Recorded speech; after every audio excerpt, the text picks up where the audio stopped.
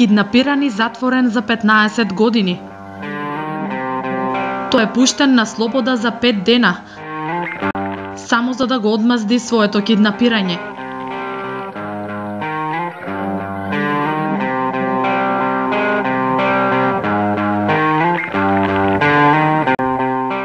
Олдбој, сабота, 22 часот, само на програмата на телевизија Кобра.